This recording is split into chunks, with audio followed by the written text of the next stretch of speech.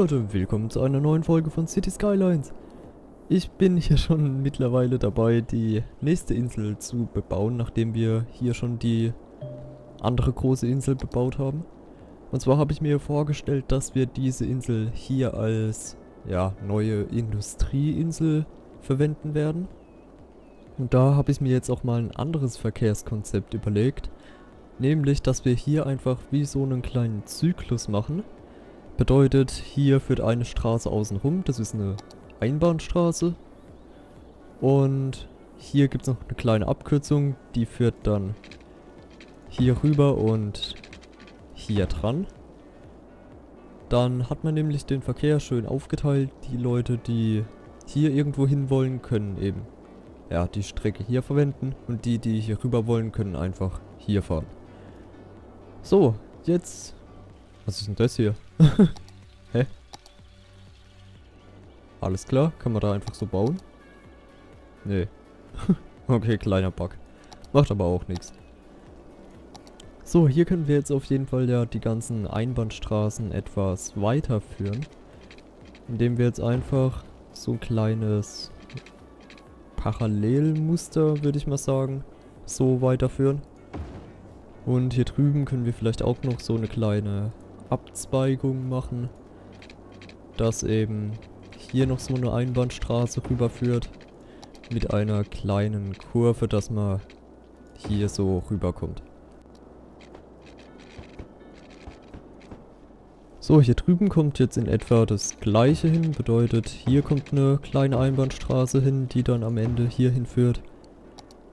Weiter geht es hier in etwa. Das führt dann hier rüber. Und ja, also ich achte jetzt ehrlich gesagt hier nicht, weiß Gott wie extrem darauf, dass die Straßen parallel sind und der Platz weiß Gott wie gut ausgenutzt wird.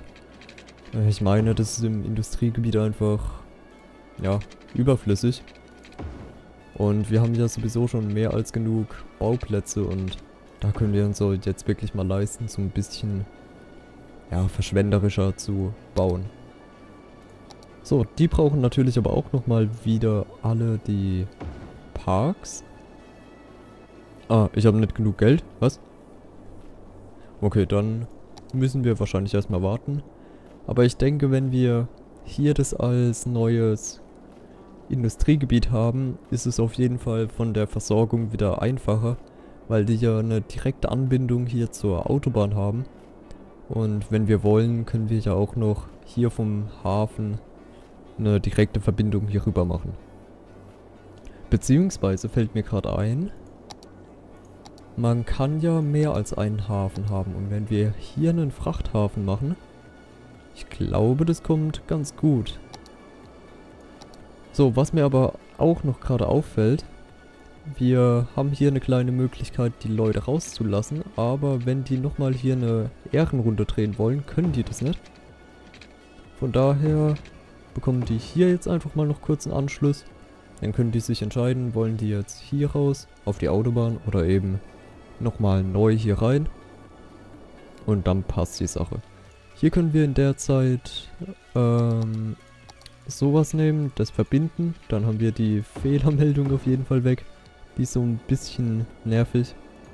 Und ich glaube, wir haben wirklich im Moment so ein paar kleine Probleme, gerade mit der Notunterkunft hier. Wo ist denn die? Hallo? Ah, genau, die ist hier. Ja, okay, jetzt klappt es aber so langsam wieder mit der Nahrung. Und irgendwie sind hier wieder einige verlassene Gebäude, aber ich kann mir ehrlich gesagt nicht erklären, warum. Denn theoretisch geht es unserer Stadt jetzt mal wieder recht gut. So, ich würde sagen, wenn die Nachfrage nach Gewerbegebiet schon so hoch ist mittlerweile, machen wir einfach mal ein neues Gewerbegebiet. Vielleicht einfach mal hier hin. Hier finde ich es jetzt ehrlich gesagt auch nicht so schlimm, wenn wir nur so ja, gering besiedelte Gewerbegebiete haben. Weil, ja, wir brauchen sie eigentlich nicht. Ich meine, die hier machen wir ja einfach, damit die Nachfrage wieder runtergeht und die Nachfrage nach Industrie wieder ein bisschen ansteigt, dass wir das Gebiet hier irgendwann voll bekommen. So, aber jetzt sind wir am Punkt, an dem wir wieder einige Parks bauen können. Das ist wirklich extrem wichtig, ist mir in letzter Zeit mal aufgefallen. Weil nur wenn man Parks hat, geht es auch irgendwie den Firmen gut. Von daher bauen wir jetzt erstmal solche. Im Moment ist ja eigentlich relativ egal, wenn die inaktiv sind. Macht uns ja im Moment erstmal nichts. Wir könnten jetzt aber schon mal anfangen, die Bahn fahren zu lassen. Hm, Straßenbahn ist hier. Okay. Ähm, ich würde sagen, wir lassen die einfach mal hier starten, ganz am Anfang. Die soll halt alle paar Meter einfach mal halten. Kann man ja eigentlich schon mal machen. Einfach in jeder Seitenstraße einfach mal so zwei, drei Haltestellen. So, weiter geht es hier rüber. Davor. Davor. davor. Und jetzt nochmal so mitten rein ein bisschen was. So, und nochmal hier ein kleines bisschen. Vielleicht nochmal hier so ein bisschen in, im Industriegebiet. Damit die Leute auch gut zur Arbeit kommen. Aber ich denke, sonst brauchen die nicht viel mehr. Von daher können wir jetzt das hier schon direkt wieder zurückführen. Dass die hier eben wieder halten. So, ah, hier. Und, hallo? Linie abschließen. Warum geht das nicht? Oh, äh, muss ich hier irgendwie so eine Wendestelle machen? Das wäre lustig. also lustig jetzt nicht unbedingt, aber... Ja, ich kann mir schon vorstellen, dass wir das brauchen. So, jetzt aber. Komm.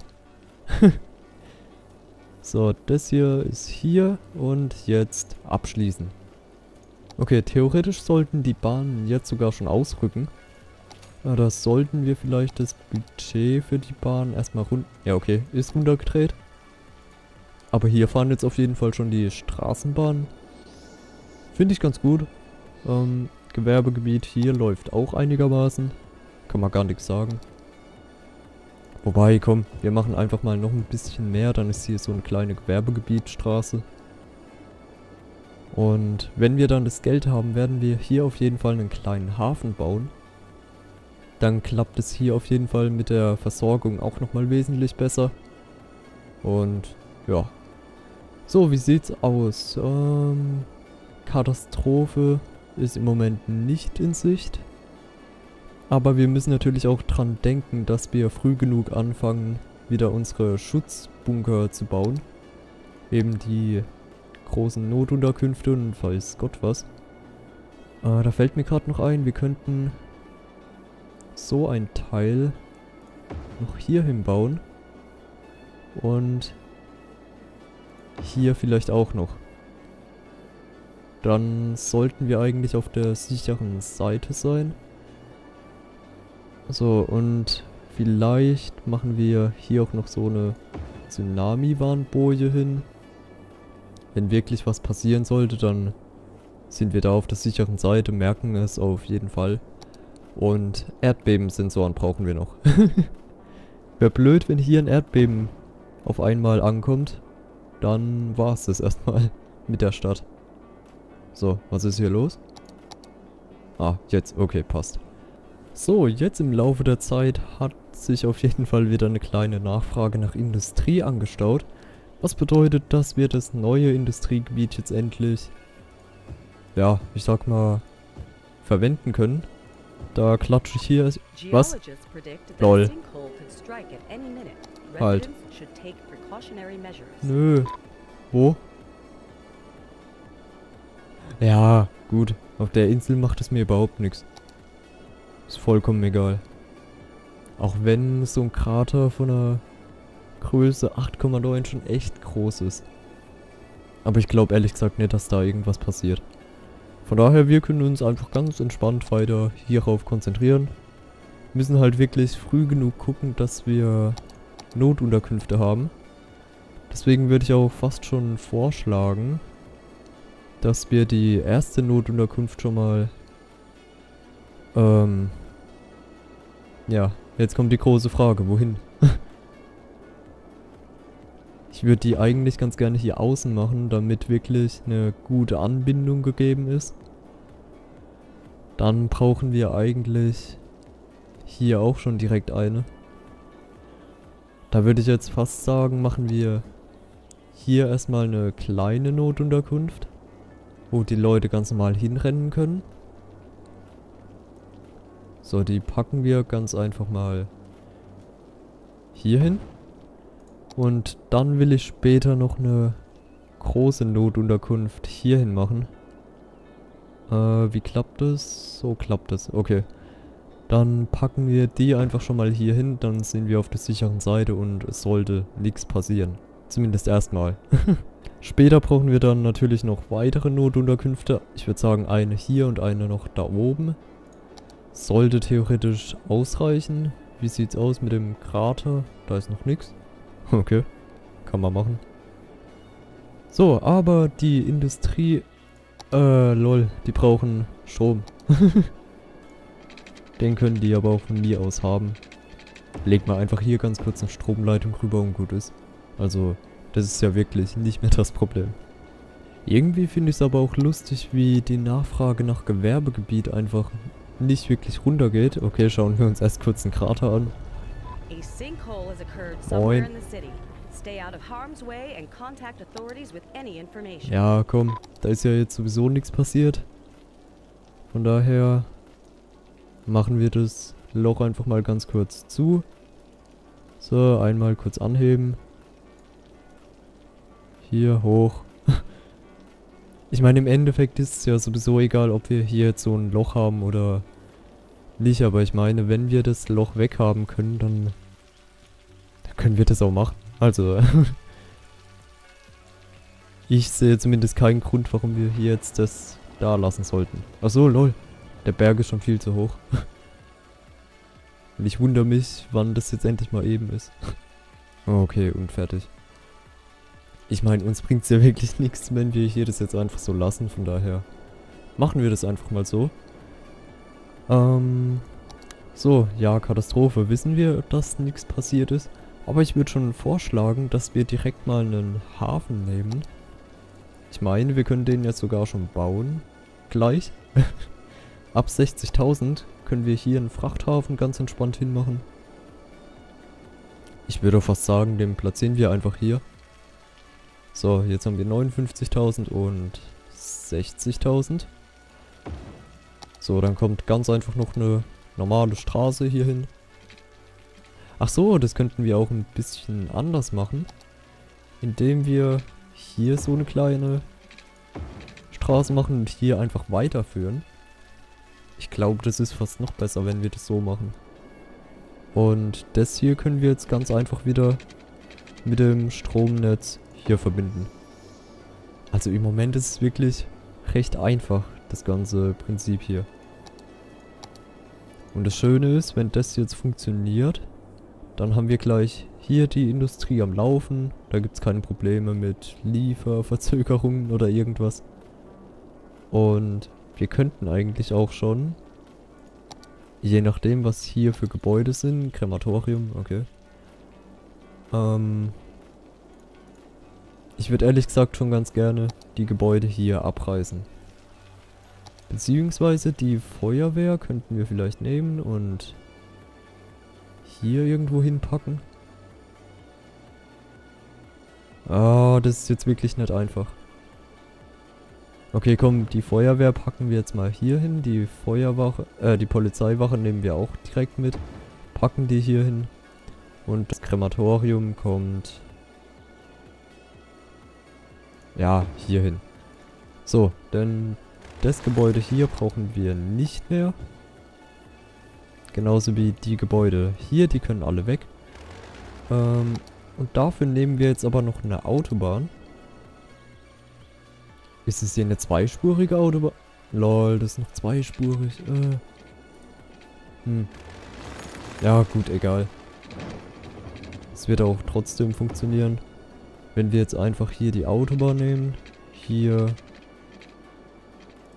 hinführen und hier jetzt eine kleine Brücke rüber machen. So.